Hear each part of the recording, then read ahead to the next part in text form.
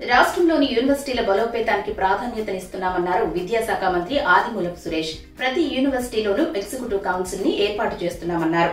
తొమ్మిది యూనివర్సిటీలకు వైస్ ఛాన్సలర్లను నియమించామని మూడు యూనివర్సిటీలకు సెర్చ్ కమిటీ ఏర్పాటు చేస్తున్నామన్నారు.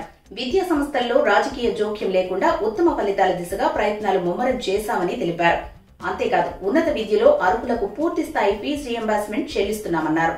చేసుకోవడం జరిగిందని చెప్పి కూడా మరి ఈరోజు తెలియజేస్తాను అంతేకాకుండా ఈ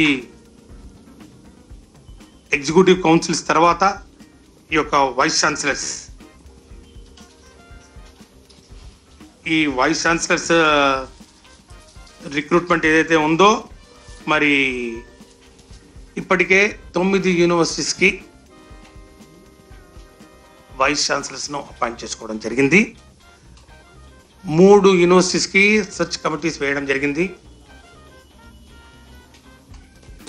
ఆ మూడు యూనివర్సిటీకి సెర్చ్ కమిటీస్ రిపోర్ట్ కూడా మరి ప్రభుత్వానికి సబ్మిట్ చేయడం జరిగింది. We are waiting for the approval of the chancellor వీటితో పాటు ఇక నిన్న ఆర్జీకేటీలో కూడా మరి ఒక వైస్ ఛాన్సలర్ పోస్ట్ ఖాళీగా ఉందని చెప్పి మీరే అడగడం జరిగింది. దానికి కూడా త్వరలోనే సర్చ్ కమిటీని సర్చ్ కమిటీని కూడా వేస్తామని చెప్పి కూడా ఈ సందర్భంగా తెలియజేస్తూ ఇక ఎక్కడా కూడా మరి వైస్ ఛాన్సలర్స్ ఖాళీలు ఇంకా ఉండకుండా ఎగ్జిక్యూటివ్ కౌన్సిల్స్ మరి అన్నిటినీ పూర్తిగా భర్తీ చేసి వారు నిర్వర్తించాల్సినటువంటి బాధ్యతలు ఏవైతే ఉన్నాయో వారికి పూర్తి అటానమీ ఇస్తూ ఎక్కడా కూడా విద్యా సంస్థల్లో రాజకీయ జోక్యం లేకుండా పూర్తిగా విద్యా ప్రమాణాలను నాణ్యత ప్రమాణాలను వాల్యూ సిస్టమ్స్ను మరి పాటిస్తూ ఈ యొక్క విశ్వవిద్యాలయాలను మరి దేశంలోనే అగ్రగామిగా నిలబడే విధంగా ప్రభుత్వం సహాయ సహకారాలు అందిస్తుందని చెప్పి కూడా